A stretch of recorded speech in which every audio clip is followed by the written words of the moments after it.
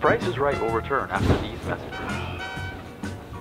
And now on to our Powerball, where we are giving away free LUTs today.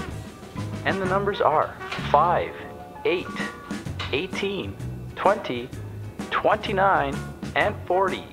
Congratulations to our winner. And now over to sports. Sports on. We got nothing to report. Free, And now back to free LUTs. That's amazing. Weather looks good. Huh. Yeah, What a day. in local news, YouTuber Daniel Marchione has ended his relationship with Scarlett Johansson.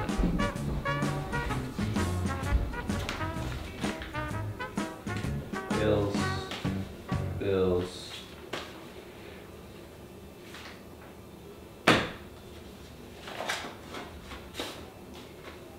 No way! Free Photoshop actions too? If only I had someone to share these with.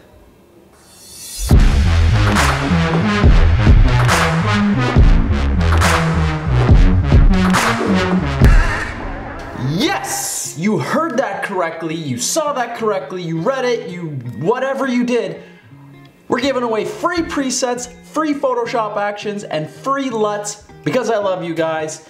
And I know what you're thinking, Daniel, there's no such thing as free in life. And you're right. All I ask in exchange is that you hit that subscribe button.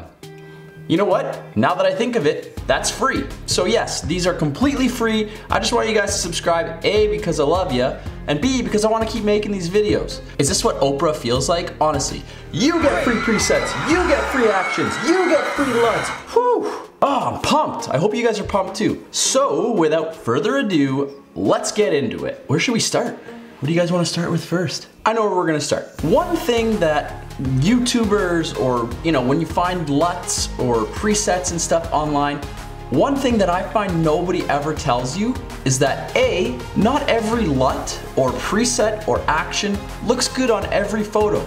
You might have like a night portrait that you apply a LUT on and you're like, oh, that is gross or a landscape that's like a sunset and you apply it and it's like why did everything that was green turn purple makes no sense. That is because no two luts are the same no two photos are the same so you have to pick and choose which leads me to my next point. All of the luts presets and actions i give you guys you're gonna need to tweak. I'm not gonna come in here and say hey man take these they're gonna make your pictures perfect without even that's it just whoop, pop it on bam perfect picture. Not at all the case. You have to adjust it. Sometimes you might need to bump it up, the saturation or the exposure and stuff like that, or even just like pull it back a little bit, you know, like maybe like 50% opacity just to kind of find that nice middle ground. At the end of the day, they're your photos. This is just like a little, hey, let me let me help you out, make it a little bit easier so you don't spend four hours editing instead of eight or you don't want to spend a lot of time editing. That's the point here. So, in the download below, you're gonna get five LUTs, six Lightroom presets, and seven Photoshop actions. Let's get into the Photoshop actions first because I edit 90% in Photoshop, maybe a little bit tweaks here and there in Lightroom, but I find Photoshop the best for me, so let's get into those ones first. So you got seven presets here, Soft OT, Hard OT, Pepper, Ivy, Whiteout, Midnight, Dawn. All of them are different. Not everything is gonna work on every picture. You might have to tweak it, you might have to play with it, and that's what we're here to do. So the first one we're gonna look at is Soft OT. OT stands for orange and teal. Once you apply that, you're gonna notice your picture has like an orange teal feel, but it's kind of like washed out, faded. So pick and choose. I find this one works best for me with like portraits that are naturally lit, daylight, brighter stuff. It gives you that like vintagey orange and teal feel that you see on Instagram a lot.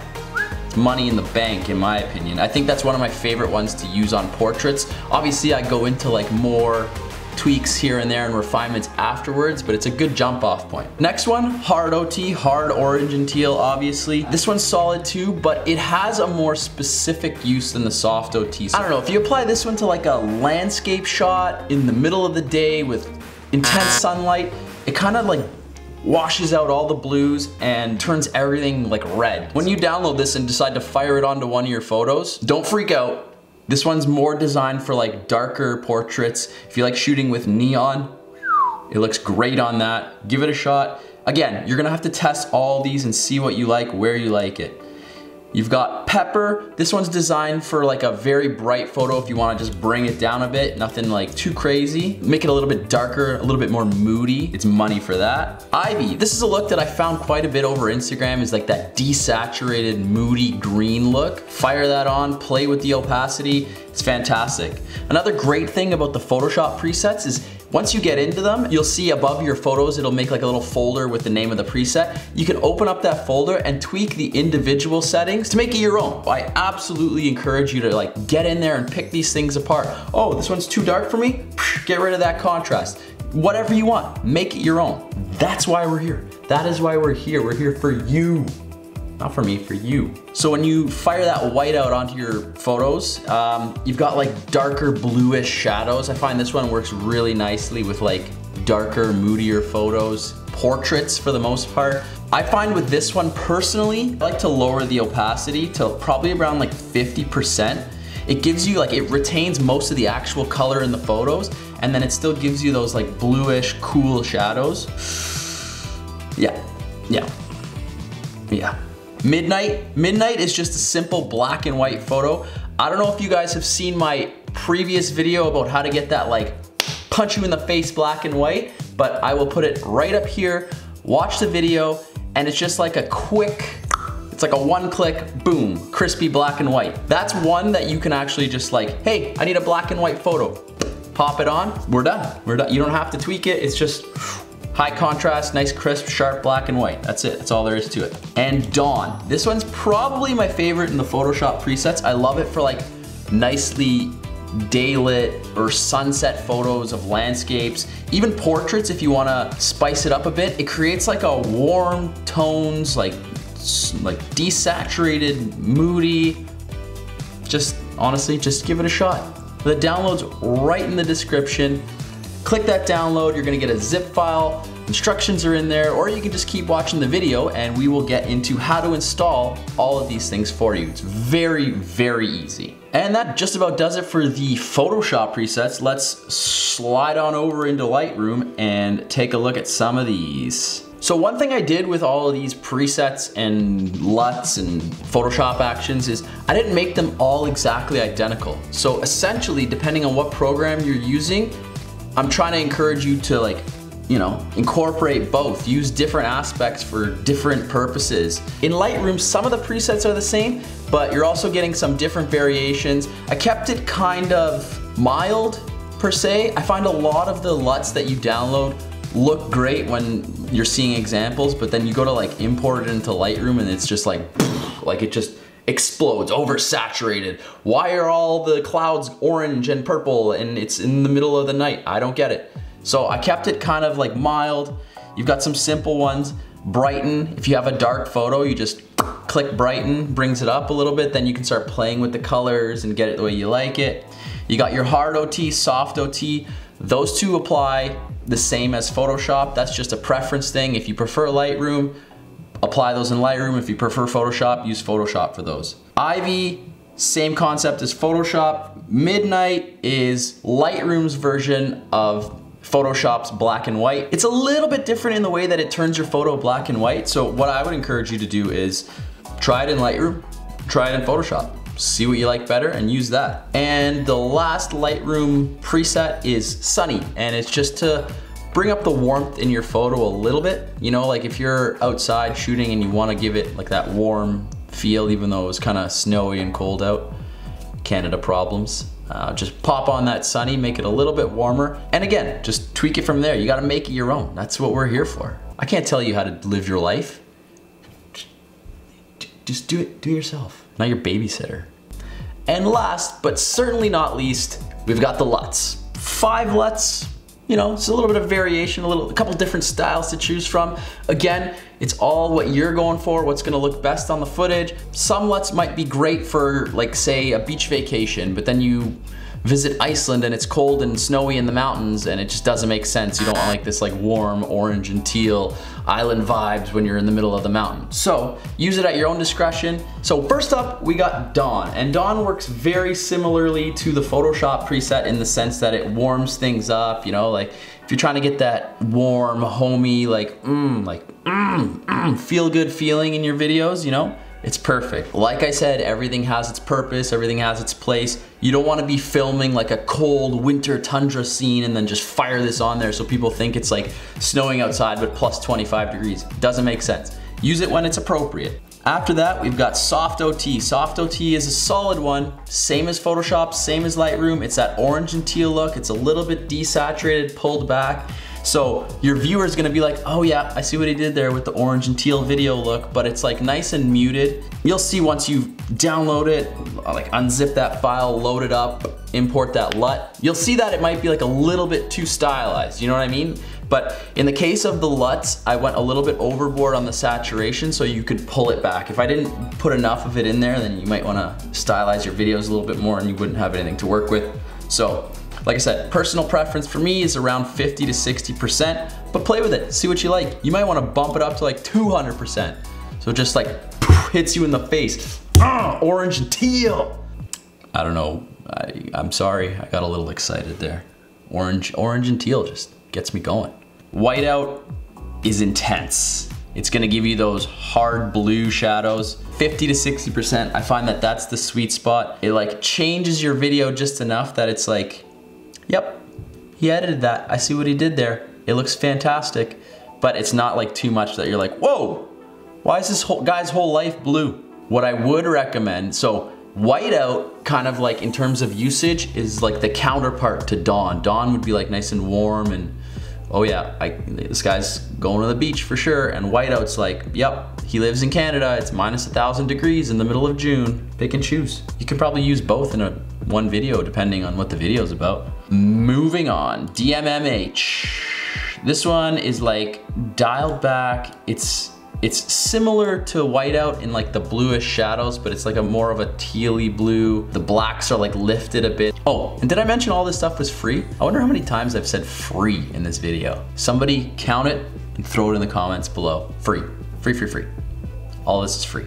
And then we're gonna go to DMRS is the last one. And this one is like a nice like soft peachy color. I find this one is great for like travel videos or like cool B-roll sequences. It's not the kind of LUT that you would want to put on like a talking head segment. It is stylized, that's the intention. So use it sparingly. Now, let's get into the stuff that nobody really wants to talk about. I'll keep it quick so you guys don't just stop watching because obviously there's gonna be something funny at the end. Always is. Here's what we're gonna do. We're gonna go through the installation process not the installation process. We're gonna go through like the instructions on how to get these things going, starting with LUTs. Now LUTs are very, very simple. What I like to do is put an adjustment layer above your footage. On that adjustment layer, you're gonna select that adjustment layer, head over to the right side and go to the Lumetri color panel. You're gonna hit the creative tab, it's gonna drop down and right under the title, you're gonna see a little drop down menu that says look, none.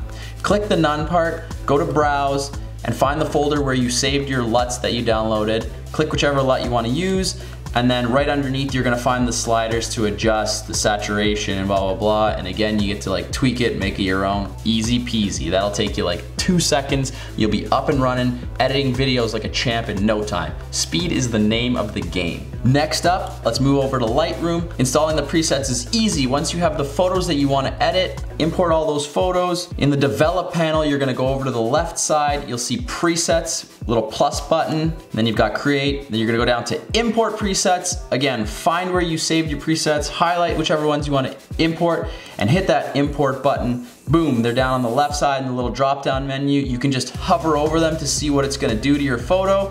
And once you have the one that you wanna start as your jump off point, you just click it, and then you can move over to the right side and just tweak everything to make it your own. Dude, I feel like I'm just gonna get t-shirts printed that say, make it your own. Super easy to use. A monkey could do it. Hey, if I can do it, you can do it. I have faith in you. And last but not least, my favorite, Photoshop. Like I said before, this is what I use to edit all my photos. I'm the most comfortable with. Nothing against Lightroom. I just, I've been using Photoshop since I was a wee lad. Using the actions is very simple too. It's also my favorite because of how the actions apply themselves to your photo. So what I always like to do is duplicate the background layer. Once you have the photo that you wanna use and you've duplicated that background layer, you're gonna go to the top where it says window, hit actions. It should open up a menu on the right side with like a little play button, default actions, whatever you have. If you have actions loaded already, you already know how to do this and I'm not, I'm wasting my time explaining. You're gonna go to the three or four little bars in the upper right corner of the actions panel, hit that button, go down to load actions. Again, find the location of where you downloaded the actions, the DM Creative Color actions, and hit open. Boom, there they are, they got a little drop down. All you do is highlight the one you wanna use, hit the play button, and then you'll see on your layers panel, uh, a folder will come up with the name of the action that you just used. Here's why I like it. You can go into that folder and mess around with everything that has been applied. Let's say the levels on one of the photos that you're editing just doesn't seem to be quite where you want it. You can turn it on, you can turn it off, you can lower the opacity of just that. You can, you know, collapse the folder, lower the opacity of the entire action, whatever tickles your fancy. Once you have those loaded, just honestly cycle through and mess around with it, and that's it free presets, free Photoshop actions, free LUTs, free, free, free. I figure you guys can go out and spend 15, 20 bucks. I could even sell these for, you know, this whole set was probably what? What, what do you guys think? Like 40 bucks? You think that's like reasonable to pay for all this stuff? Yeah, I could sell it for 40 bucks, but I love you guys too much to do that. You know, everybody's always like Googling, oh, free presets. I'll give them to you. You guys can have them. I wanna grow together, so all yours. Take them, do what you will with them, throw them on your photos, tell your aunt and uncle about them, share this video with your friends so they can have them too. I wouldn't hate that. Also, as I mentioned before, at least twice, hit that subscribe button. You know, it's like, hey Dan, this is how I'm gonna say thanks. Subscribed. This way, what happens if like six months down the road, I'm all about like, hey, I made some new presets. Let's share it with the gang.